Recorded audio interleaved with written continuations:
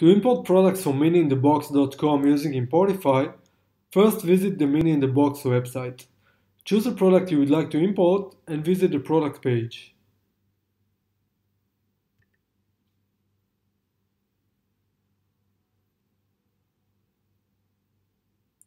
Click on the red Add button.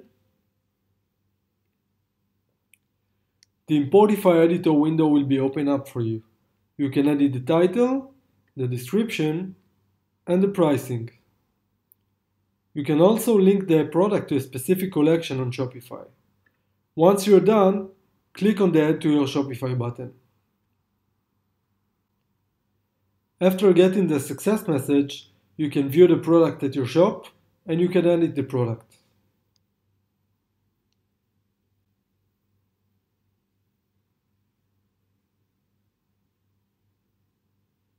Thank you for using Importify.